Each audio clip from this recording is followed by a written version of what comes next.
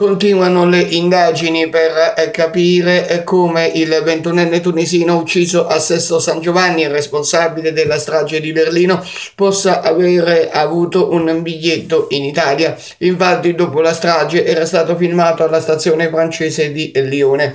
Gli investigatori italiani sono stati a lavoro anche durante i giorni di festa per ricostruire nel dettaglio i suoi spostamenti.